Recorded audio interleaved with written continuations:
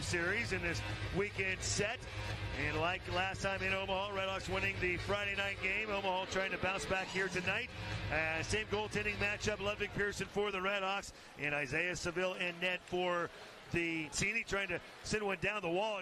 Hit a skate and carry it back in front of the Miami net when the Redhawks get to it. But well, Drew, kind of like we thought. A lot of pressure in the early moments. Back, right back come the Redhawks, who shoot and score! Up the left side. Tychonick down to Weiss. Weiss at the half wall, back to Tychonick. Coming towards the middle, gives it back over. Weiss behind the back pass shot. That one deflects out front and gets by Persson, deflects into the net.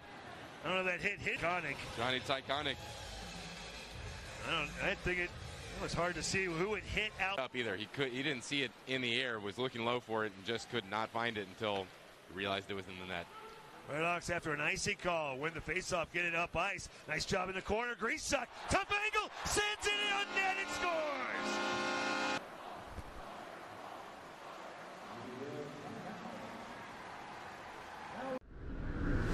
Cut it off. Coming around the wall, left side, sent back down behind the net, sliding to the right side. Corbin gets to it. Back to the blue line, Reichquist again, over to the near side. Ryan Savage sends it in and scores.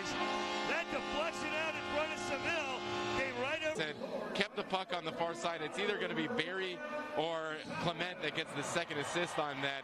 As Greasock and Barry continue to play with it in that far corner from us, uh, attacking Caused the contact maybe, to the head. but you got to be in control. I well, I mean, if if the head wasn't there, I well, I don't know. That, that's a bang bang play. The end result, another power play for the Mavs, and they turn around and whack one in off the end wall, and they score. So it in. I kind of think that that went off the skate of the goalie Persson. That came straight back off that there, but instead it's Taylor Ward to throw it down the wall around. It comes over to the left side, and it's set up at the blue line. Scanlon had that come out, then poked away by Greasock as he's trying to get around the linesman. Greasock coming down, he's knocked down and interfered with, and a penalty coming up as reaching around. They're going to Award the the goal. goal. So Greasock is awarded the goal. So that is the rule when you trip up somebody unimpeded going to the net